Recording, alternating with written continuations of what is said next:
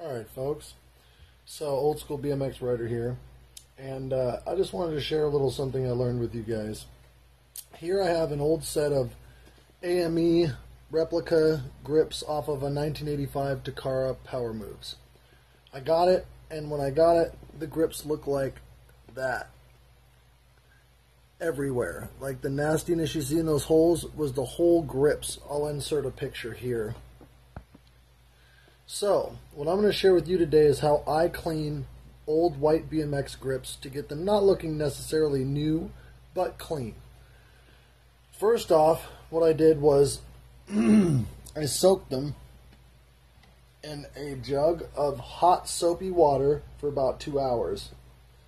After that, I took a Mr. Clean Magic Eraser to them and got everything off of the surface, all the nastiness off the back of the flange, all the stuff off the front, off the outside of these ribs here, you know, like these ones. And then after that, you have to clean the inside of the holes. Well, that's a pain in the ass with a magic eraser. So what I figured out was actually the easiest way to go about it is since the, the rubber gets really soft when it's sitting in that hot water, take a Q-tip. See if I can find a dirty one left on here. Ah. So, see those right, right there? And how they got some dirt in them still. You just stick your Q-tip in here, do a little circle, and she's clean. Do a little, do a little circle, it's clean. Do a little circle, clean. Do a little circle, clean.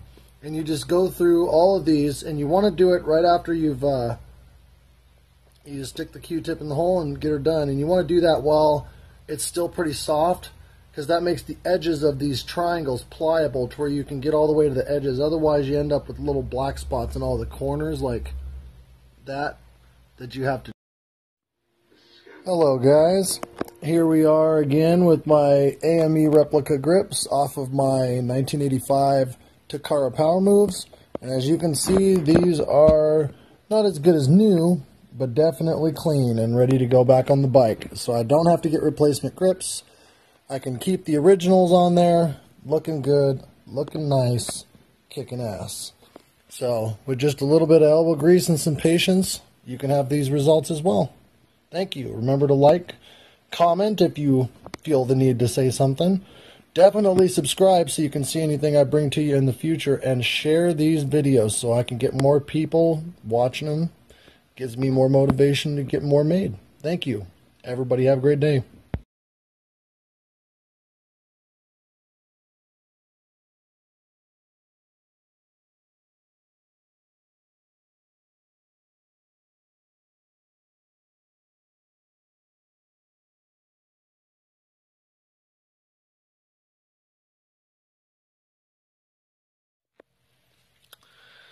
Man, this is starting to get out of hand a little bit. I got frames all over the place. I got complete bikes. I got buckets full of parts. I got mags. I got everything. But now I got. So here we are. Got my AME replica grips back on the Takara. You can see they're shining bright and looking good.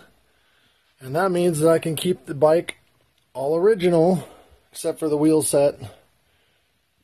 Keep it nice. I'm going to have to repaint this seat post and hopefully be able to find either a replica sticker or tape that one off. Paint around it, but that seat post is the last real eyesore on this bike other than the wheels. And I've already got my white checkered chain for it.